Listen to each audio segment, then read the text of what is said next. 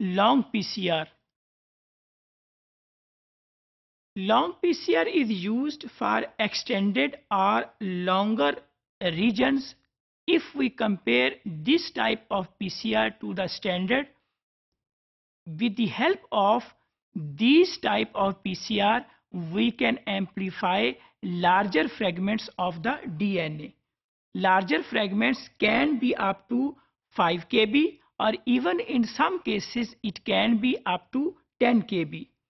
Long PCR is useful only if it is accurate. In case of long PCR, mixtures of the DNA polymerases are used.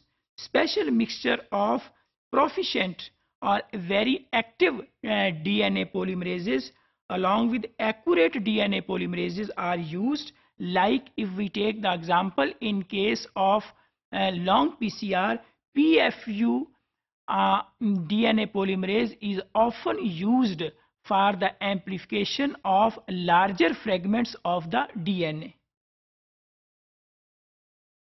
The application of the long PCR is to clone large fragments of the DNA or to clone those genes which are of large size which is not possible by using the conventional method of the PCR.